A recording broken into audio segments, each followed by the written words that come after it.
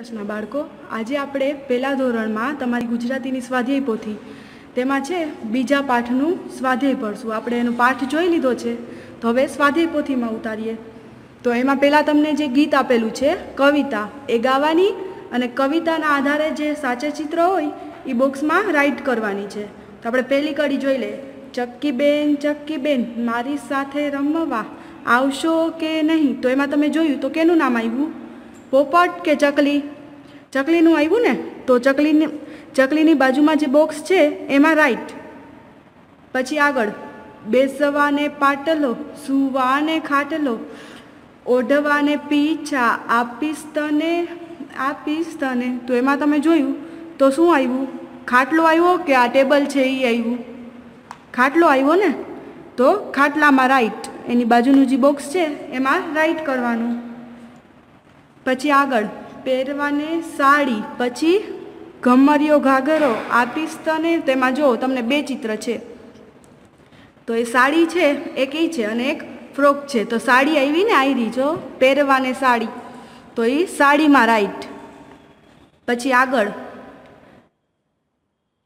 ચણવાને દાણા. તો દાણા આવી રહ્યા, આ દાણા છે. અને આ દ્રાક્ષ છે. તો કેમાં રાઈટ આવશે? દાણામાં ને? પછી આગળ.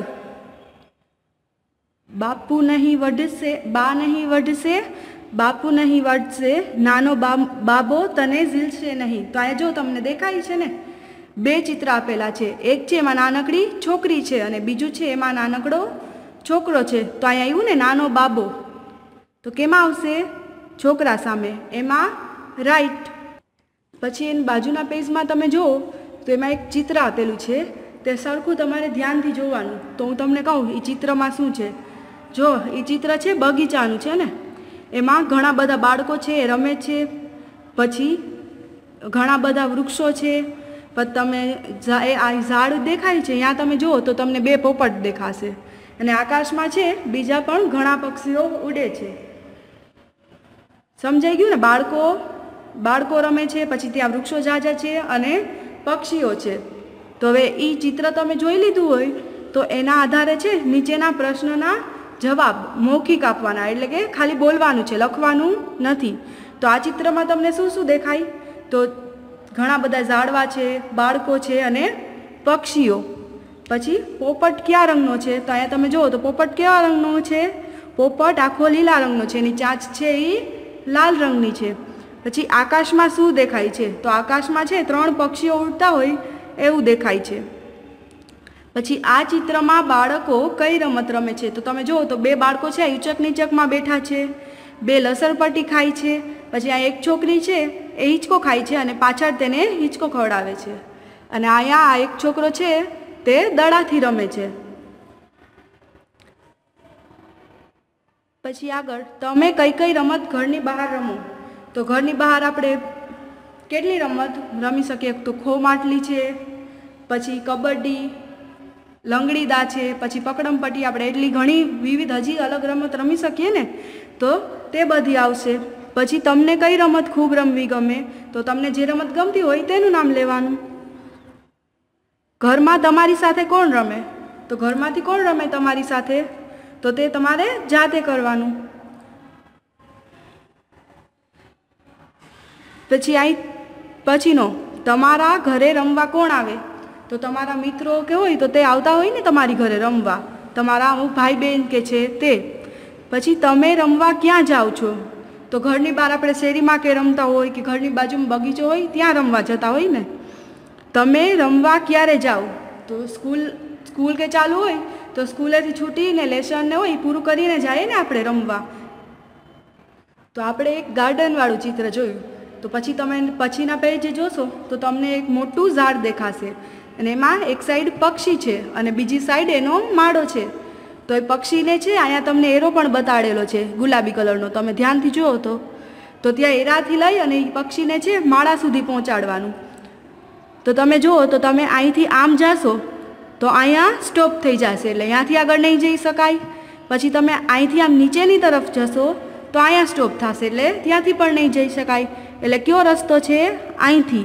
તો અહીંથી આમ. પછી જો તમે અહીંથી આમ જાશો તો અહીંયા પાછો સ્ટોપ આવી જશે. એટલે ત્યાંથી પછી સીધું.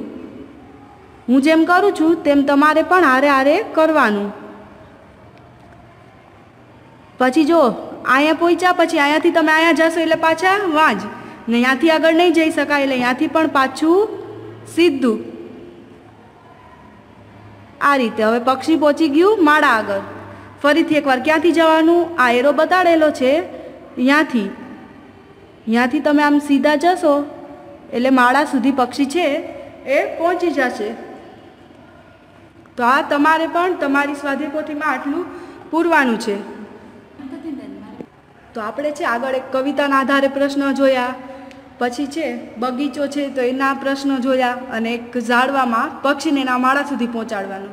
એટલું જોયું તો પછી એની આગળ તમે જાશો, આગળના પેજે તો તમને અહીંયા કેટલાક, આ રમત, આપણે રમતા હોય ને ક્રિકેટને, તો એની બધી વસ્તુઓ આપેલી છે. તો તે જોડવા જોડવાની છે. એટલે એમાં તમારે આમ જોઈન્ટ નથી કરવાનું, પણ અહીંયા કેટલી વસ્તુ છે? એ છ વસ્તુ છે ને, તો તમારે છ અલગ અલગ કલર લેવાના. જો જુઓ તમે પેલું જ, તો આ બેટ છે, તો એની આરે શું આવશે? બોલ તો આ બેટની બાજુમાં જે ગોળ આપેલું છે એમાં અને આ બોલની બાજુમાં જે ગોળ આપેલું છે એમાં સરખો કલર કરવાનો. સમજાણું ને? જે વસ્તુ ભેગી આપણે રમી શકીએ એમાં સરખો કલર. એવી રીતે અલગ અલગ વસ્તુ. તો અહીંયા જો સાપસીડી છે, તો એની સાથે આટલામાંથી શું હોય? પાસો હોય ને સાપસીડીમાં. તો આ સાપસીડીના બોર્ડમાં અને આ પાસામાં એ બેયના સરખા કલર. સમજાણું ને? બંધ બેસતી જોડીઓ બનાવી અને એમાં છે ને સરખો કલર કરવાનો. તો હું અહીંયા જેમ જોઈન્ટ કરું એવી રીતે તમારે જોઈન્ટ નથી કરવાનું, પણ એ બેમાં સરખો કલર કરવાનો. તો આ બેટ છે, તો એની સાથે શું આવે? બોલ. તો તમારે બેટમાં અને બોલમાં સરખો કલર કરવાનો. જેમ કે જો તમને ગુલાબી કલર ગમતો હોય, તો આ બેમાં ગુલાબી કલર કરવાનો, આમાં અને આમાં. પછી બીજો કલર લેવાનો. તો આ સાપસીડીનું બોટ છે, તો એની આરે શું હોય? પાસો હોય ને? એટલે આ બેમાં સરખો કલર પછી પતંગ. પતંગ તમે ચગાવી જશે ને, તો એની સાથે શું હોય? જો આમાંથી ફિરકી હોય ને, એટલે એને ફિરકી સાથે જોડવાનું. એટલે પતંગનો ને ફિરકીનો કલર સરખો રાખવાનો. પછી ભમરડો. તો ભમરડો છે એ દોરી વગર ના ફરી શકે ને, એટલે એની આરે શું આવશે?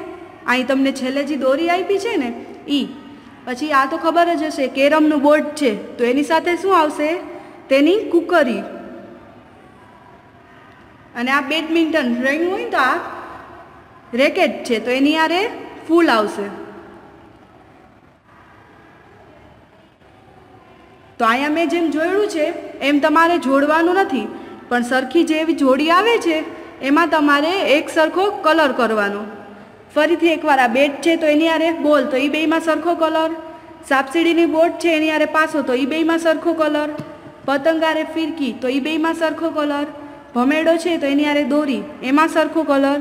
પછી આ કેરમ છે, એનું બોર્ડ અને એની કુકરીઓ એ બેમાં સરખો કલર અને આ રેકેટ અને આ ફૂલમાં સરખો કલર.